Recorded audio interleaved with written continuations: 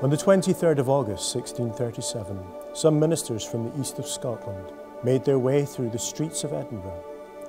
In their hands was a petition to the King's Privy Council. The Council was in emergency session following protests against the new prayer book being forced on the Church. The petition was composed by Alexander Henderson, the leader of the Presbyterian movement. It showed that imposing the prayer book was illegal and unbiblical and tended towards Roman Catholicism. When the ministers arrived here at Holyrood House, they were surprised to find another group of ministers from the west of Scotland with a similar petition. Neither knew that the other deputation would be there. But this was no coincidence. The events taking place were being divinely ordered. According to John Livingston, it was this event which was the true beginning of that blessed Reformation in Scotland. It marked the beginning of a movement that was going to take the Church in Scotland to a more extensive Reformation according to God's Word. This would be Scotland's second Reformation, but sadly, it has become Scotland's forgotten Reformation.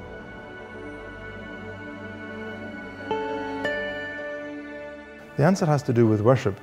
Many people think it doesn't matter what we do in God's worship as long as God hasn't forbidden it in His Word. But God has given clear commandments in the Bible governing all that we do when we worship Him. He also says that we are not to add to these things, to these commandments, or to take away from them. And in worship, as in everything else, the issue is not what pleases us, but what pleases God. He is only pleased with the worship He commands. Whatever He has not commanded is forbidden. And that was the problem with the prayer book. It imposed ways of worshipping that God had not commanded. The real test of our willingness to obey God comes when we face opposition. We are often tempted to conform to the norm, and it is difficult to stand out as different. What should we do when others want us to adopt or tolerate ways of worship that God has not commanded? Do we just accept this in order to keep the peace? Yet disobeying God's commands never promotes true peace. It can never be right to be more concerned with offending other people rather than obeying God. Let's take a closer look at how the Church in Scotland faced this test down through the years.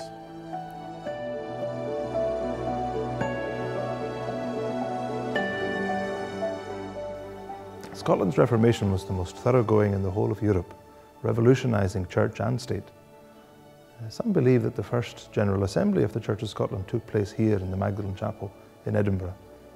With this Reformation, every area of church life, its teaching, discipline and worship, was to be regulated by God's Word, as Christ instructed the apostles, teaching them to observe all things whatsoever I have commanded you. But the Stuart monarchs were not in favour of a church that was ruled by God's Word. They believed that their kingly authority should extend into the church, including its worship. One of them, James VI of Scotland, tried to assert his authority over the church in different ways, mainly by the reintroduction of bishops into the church who would do his bidding. During many conflicts, he sent faithful ministers who opposed this policy into exile, but ultimately James was successful. In 1618, James used his bishops to force through the drastic changes in worship. Five articles, agreed by a General Assembly in Perth, allowed private baptism and communion. They also required the Lord's Supper to be received while kneeling rather than sitting. The Church of Scotland, since the Reformation, had always observed communion sitting around a table, according to the biblical pattern.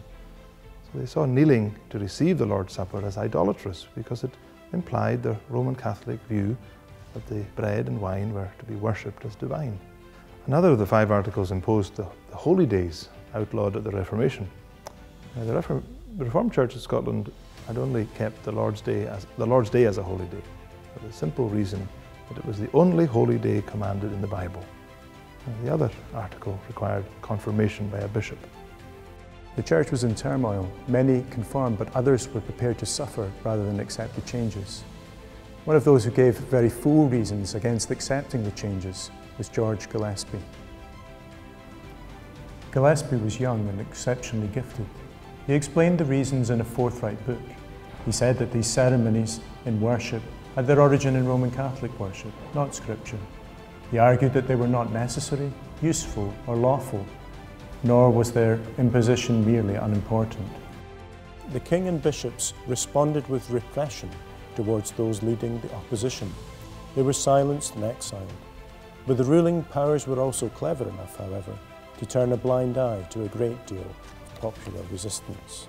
While the oppression increased when Charles I took the throne in 1625, persecution against any dissent was swift and ruthless. Charles was determined to make the Scottish Church conform to the English Church. So he appointed Archbishop Laud to drive forward the movement towards Roman Catholic practice, with the result that a, new prayer book was imposed on the Scottish Church, which was even more Romeward leaning than anything that England had yet seen. So all ministers were, were required to read uh, the prayer book and everyone had to attend church to hear it. The biblical principles of the Reformation were being unravelled. This included its teaching about salvation as well as how the church was organised and how she was to worship God. Events were moving at a rapid pace. Here at St Giles in July 1637, protests turned to riot as the Dean attempted to read the new liturgy. Famously, a woman named Jenny Geddes threw her stool at him in protest. During the months that followed, congregations and ministers across Scotland petitioned the government. Under the leadership of Alexander Henderson, the nobles and leading men of the church rose up to renew the National Covenant in 1638. It was first signed here at the Greyfriars Church in Edinburgh. After this, it went to every part of the country where it was sworn to and signed by a vast number of people from every level of society. So today much confusion in churches arises from people asking the wrong question. They are asking what is acceptable and attractive to themselves rather than what will please God. So we need the courage of these reformers to defend the principle that worship is determined by God's command, not our preference. So the principle is that God forbids what he does not command in his worship. So if we abandon this principle, there's no real control left except human preference and taste. And this can lead to the errors of Roman Catholic worship on the one hand, or a charismatic free-for-all on the other hand.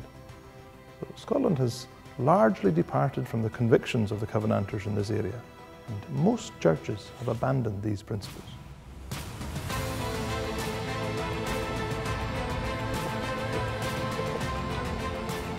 Is your church asking the right question about worship? The Covenanters faced this question with conviction and refused to worship in ways that God had not commanded. It took a great deal of courage to stand up to a monarch claiming absolute power.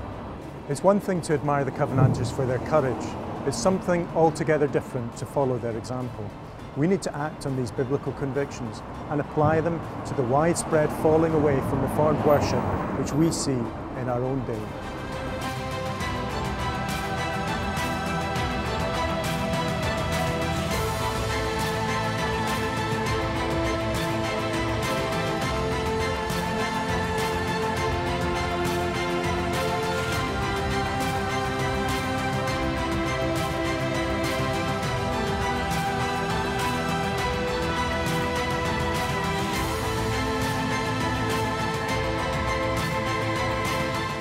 If you've been interested in the issues raised in this film, you might like to buy and read a copy of this booklet called Reformed Worship. You can get it from www.reformationscotland.org.